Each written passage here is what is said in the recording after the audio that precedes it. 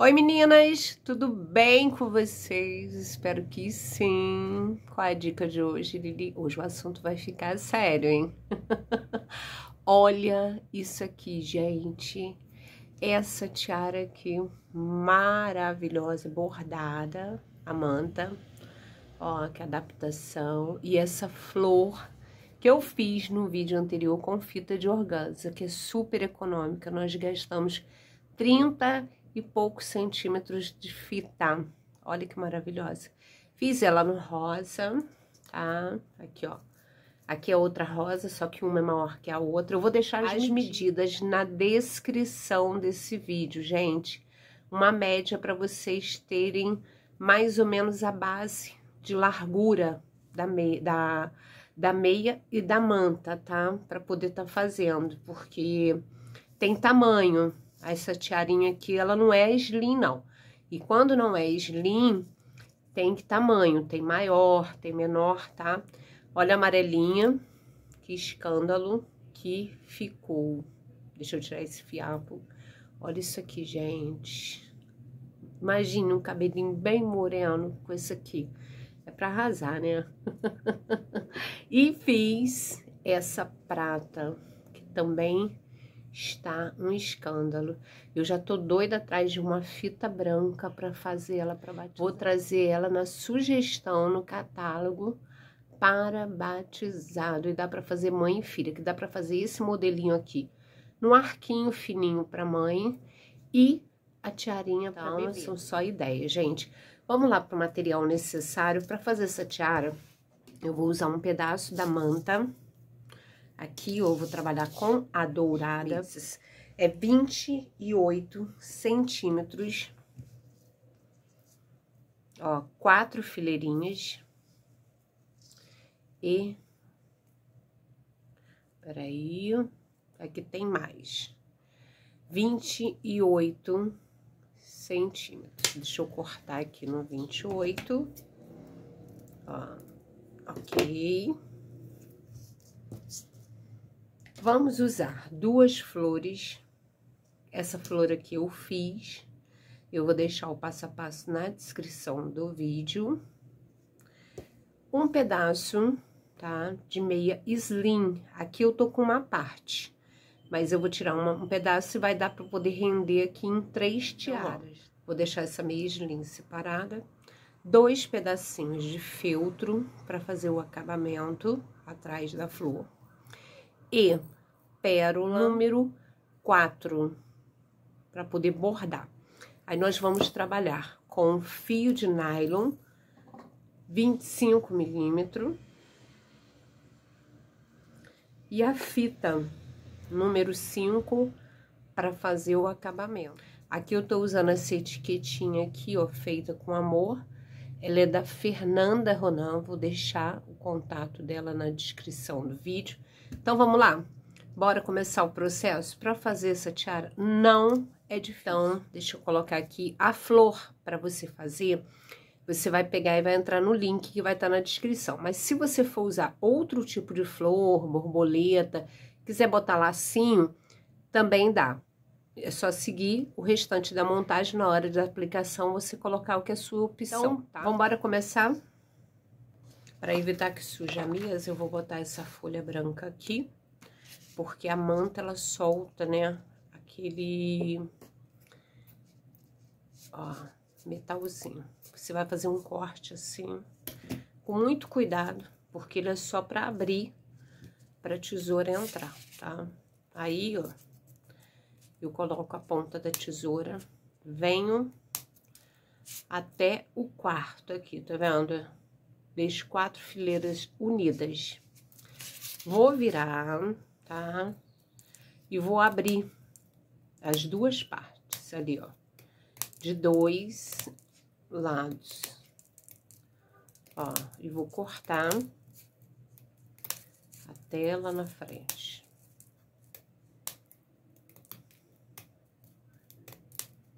Vamos lá, até chegar aqui no quatro.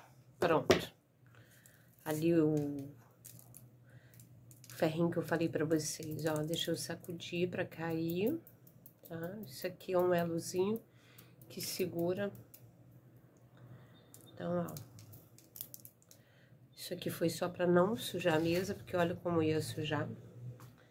Agora deixa eu dispensar e prontinho. Então, aqui ainda vai ficar caindo um outro. Aqui ela já tá separada, pronta pra gente poder começar a trabalhar com ela.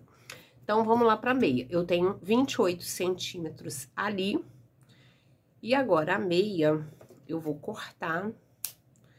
Vou dar uma selada nas duas pontas, para aquela outra não ficar abrindo eu vou pegar um pedaço, ó, de, de 11 centímetros, tá? Prontinho. Deixa eu colocar aquele outro ali de lado. Deixa eu selar. Peraí, deixa eu selar essa outra ponta aqui, porque eu vou aproveitar, só para não abrir, gente, tá? Então, Agora, vamos lá. Vou pegar aqui nessa parte da ponta, vou colocar um pouquinho de cola quente. Se você quiser, você pode costurar também, tá? Ó, vou adaptar. Vai ficar desse jeitinho aqui. Vou virar. Aí, aqui, eu vou passar cola quente aqui e aqui. Aí, eu vou pegar a fita, eu vou fazer isso aqui, ó. Agora, eu giro. Vou passar a cola quente aqui. Ó, vou girar arrumando, tá?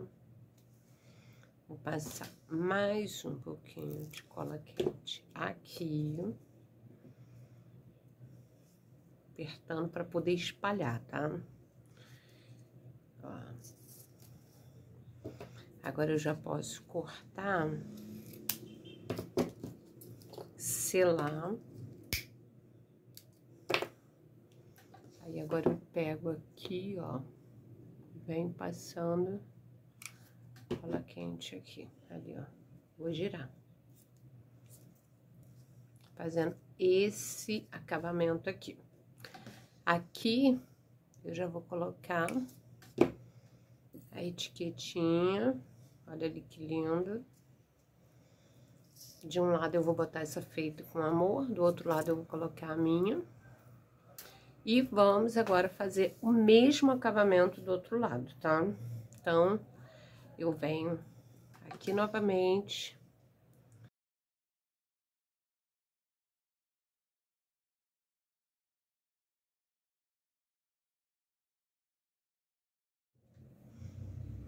Prontinho ali, ó. Lá ficando desse jeito aqui, gente, tá? Desse jeitinho. Agora, eu vou vir nessa altura aqui da ponta de 8 sem parte e vou colocar um feltro para que eu possa me localizar, ó, aonde eu não vou bordar. Então, ó, o 8 centímetros tava aqui, eu vou colocar esse pedacinho de feltro aqui. Agora, na outra parte, eu vou colocar o feltro no 16, gente. Então, eu vou medir daqui, aqui, ó, o 16 bate aqui. E vou colocar em cima aqui do 16. Então, ó, novamente, vou passar cola quente para dar uma segurada. Vou pegar aqui, ó. Prontinho. Olha lá. Ficando desse jeitinho aqui, um distante do outro, tá? Dessa forma aqui. Vamos começar a bordar? Então, eu vou pegar o nylon, um pedaço bem significativo, para que eu possa ir e voltar, sem precisar emendar. Então, ó. Prontinho.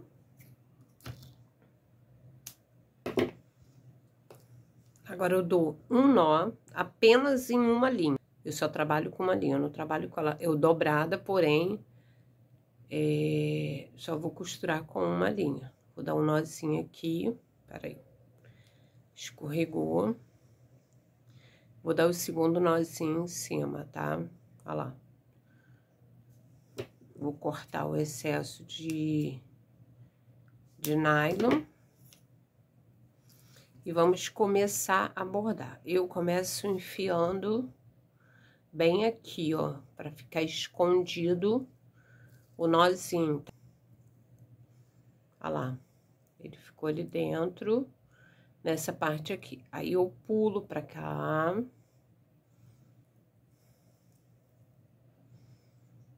Ó. E vou pular pra cá. Isso aqui é só pra poder ficar bem firme. Aí, agora, eu volto pra cá. Nós já vamos começar a bordar. Aí, entra aqui.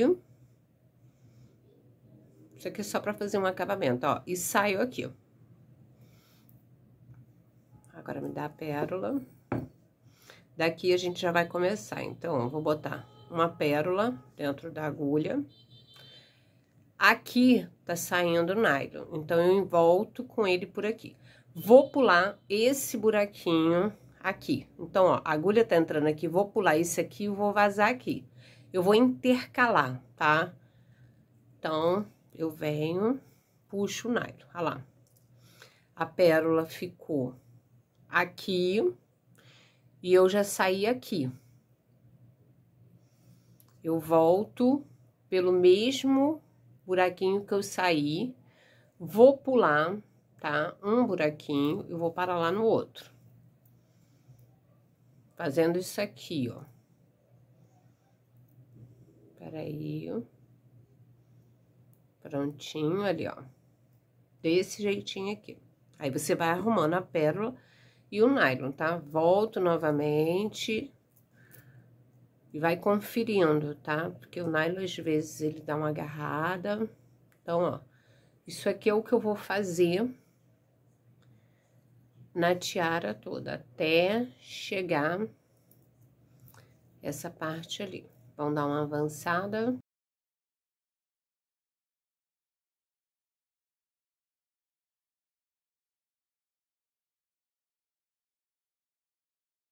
Prontinho, meninas, ó. Cheguei bem próximo aqui do filtro. Agora, eu vou colocar a última pérola aqui e vou pular aqui pra cima, tá? Aqui nessa parte do feltro, eu não vou trabalhar bordando. Então, eu entro com nylon aqui, saio com ele no buraquinho na seguida e volto com ele aqui pra fora. Só para avançar, não precisar ficar cortando e dando nó, tá? Então, ó. Prontinho, agora já vou sair daqui, ali, ó.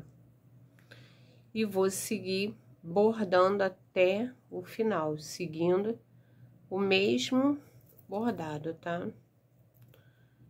Ó, intercalando isso aqui, eu vou ir fazendo.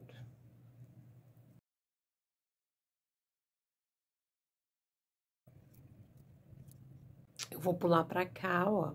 Vou começar costurando, tá? Eu vim daqui, vim pra cá e vou subir aqui, ó. Tá? Ó.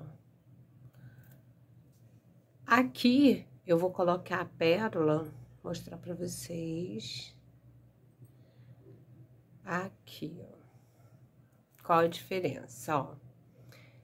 Ficou na direção do buraquinho que não foi colocado, tá vendo? E agora eu sigo fazendo. Não puxo muito nylon, não, pra não enrugar, tá? Essa parte da manta. Então, ó, vou seguir bordando, igual eu fiz do outro lado, gente, até o final. E já volto. Vou voltar quando terminar, porque eu acho que esse aqui já deu pra vocês verem, é repetido a, o mesmo processo. Eu vou ir fazendo isso aqui até chegar lá no final, então já volto com ele pronto. Prontinho, gente, olha isso como ficou. Agora, vamos lá? Fazer o acabamento, vou passar cola quente. Eu não passo muito em cima da manta, tá? Só dou uma leve e vou colocar uma flor aqui. Essa flor, ela é feita, mostrar pra vocês, no acabamento de feltro, tá? Então, ó, esse feltro aqui, ele ficou na largura de dois centímetros e meio. Esse daqui é um pouquinho menor, que é o acabamento da flor. Então, você sempre vai colocar esse feltro aqui um pouquinho maior, tá? Então, ó, colocando. No vídeo anterior, algumas meninas me perguntaram qual a cola quente que eu trabalho. É, o bastão, gente, olha isso, que escândalo. Qual o bastão de cola quente? Eu tô trabalhando com a Unibem, a pistola é essa daqui, tô apaixonada nela, porque ela esquenta muito. Essa pistola e esse bastão você encontra, tá? No site da Claudinha Fitas. Eu vou deixar o contato dela na descrição para vocês. Quem quiser entrar em contato, vai estar tá lá, ó, e tá aqui essa dica maravilhosa, apaixonante. Qual a sua cor preferida? e vou vir, tá? Com uma tiara, um modelinho diferente, um pouco diferente desse aqui, mas colorido, tá? Então, ó, tá aqui essa dica. Espero vocês no próximo vídeo. Não deixe de ativar o sininho, tá? De se inscrever no canal e de deixar o seu joinha. Mas acima de tudo, não deixe de persistir. O obstáculo que você não enfrenta passa a ser o seu limite. E nessa vida os obstáculos não foram feitos para parar a gente. Os dias difíceis não foram feitos para a gente desistir. Foram feitos para a gente aprender e evoluir. Então, se tá difícil, é porque você está no caminho certo. Se está difícil, é porque você está se preparando para o que Deus tem preparado para você. Então, um beijo e até o próximo vídeo.